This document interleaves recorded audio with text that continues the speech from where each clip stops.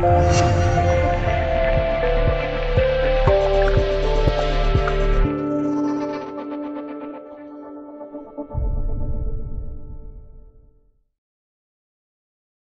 航的意义在哪里？保护国度平安，保卫国度主权和领土完整，为国度开展发明战争的国际情况、调和的社会情况，供给坚强有力的平安保证。每次听到“假释”这个词，就不由让人恨之入骨。那让我们来看看列国的荣航甲士的勇敢挺秀的身躯：白俄罗斯、意大利、美国、韩国、日本、英国、中国。不管怎样看。我仍是以为中国甲士最帅气。中国女军很美丽吗？